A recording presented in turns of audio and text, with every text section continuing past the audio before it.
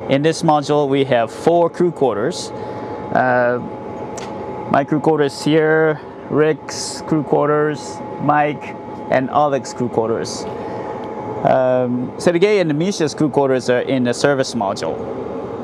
And uh, this is the crew quarter.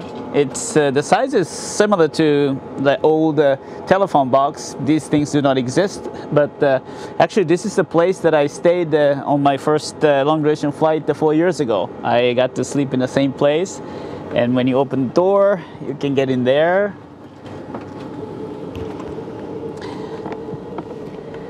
It's you know it's a little taller than my height, so it's very comfortable, and you can see there's a sleeping bag here, which is very comfortable. A sleeping bag is fixed to the wall so that I don't float away or kick anything.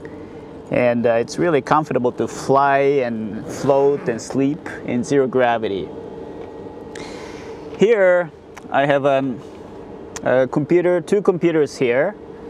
And uh, one is to, to check the schedule, official emails, procedures, and uh, there's another one, uh, uh, same laptop, but this is for the internet access.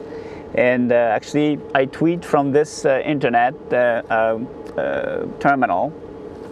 Have a camera here, and also have a headset here. And using this headset, I can call personal calls to the ground, which is very nice to be able to talk with my family and friends after hours and on weekends.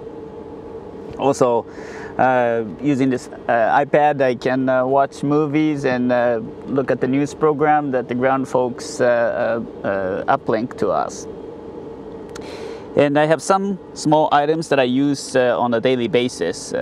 this is a really neat place and very comfortable to, to live in.